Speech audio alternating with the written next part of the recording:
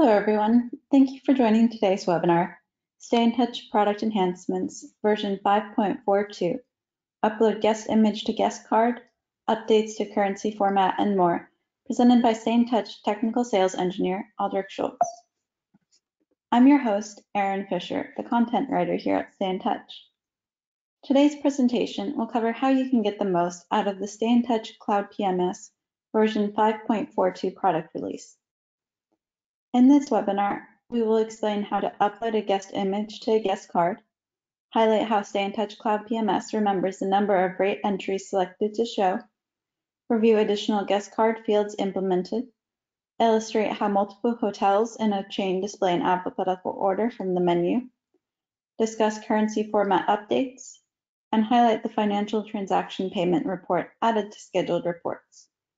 We will have a short Q&A session at the end of the presentation Feel free to submit questions through the, um, throughout the presentation and we'll answer them in the order they are received at the end. And that's all I have right now. Aldrich, I'm going to hand the presentation over to you. Great, thank you, Erin. Mm -hmm. All right, so uh, we're going to go ahead and get started on our release notes for version 5.42. And to start off with that, we're going to look at the upload of guest images to the guest card. In order to upload an image to the guest card, you can go to the menu, select front desk, and go to guest to find any guest profile. I'll go ahead and type in my name here to pull up my profile.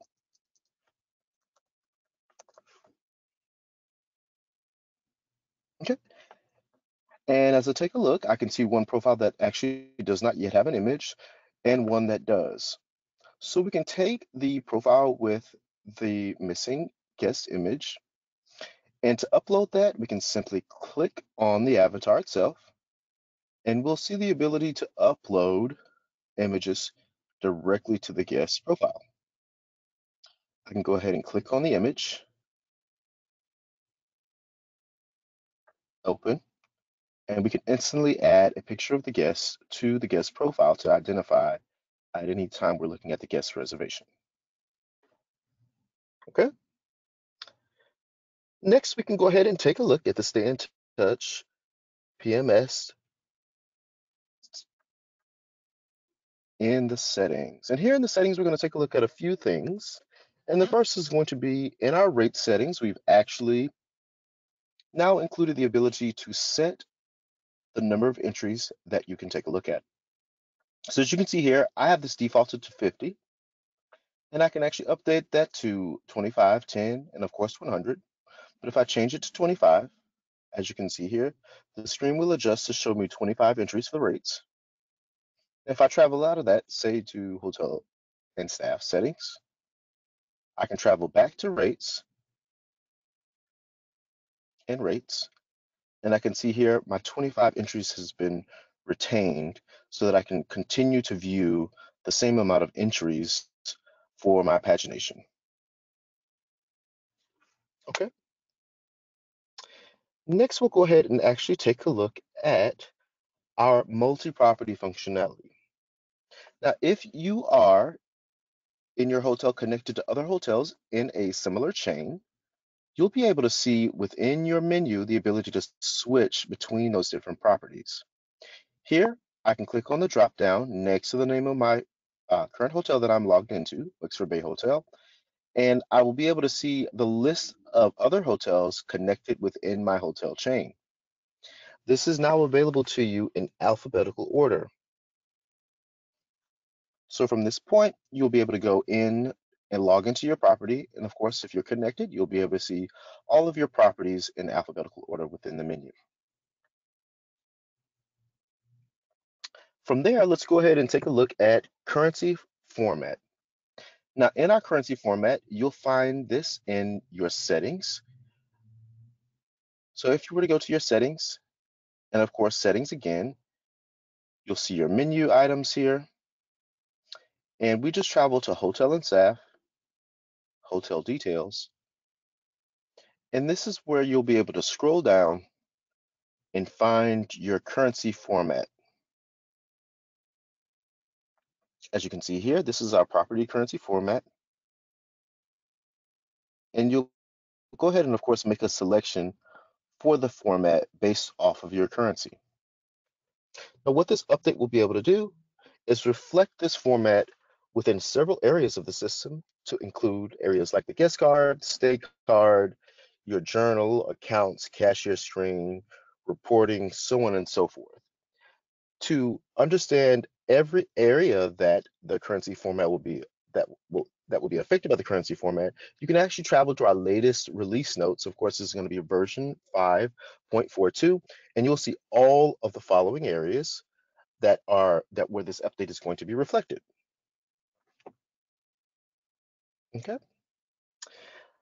And for our final item that we'll go ahead and take a look at, we are going to travel to our scheduled reports because we've actually added a new report that's available for scheduling.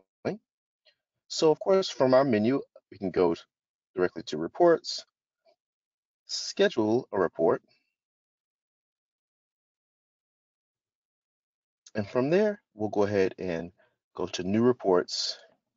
And our new report added is going to be the financial transaction payment report. So we can actually type that in or scroll down, whatever works for you.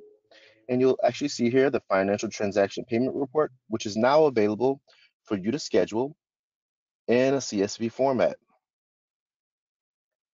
Okay.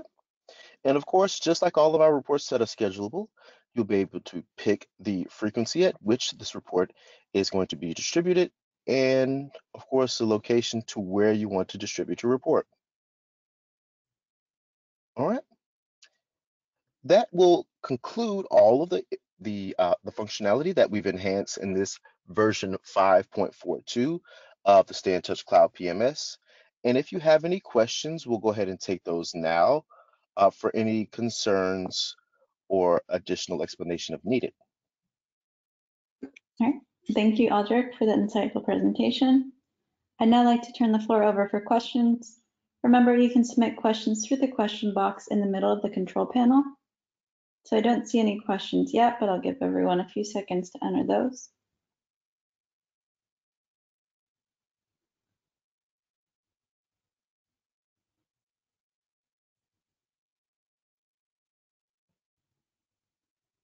All right.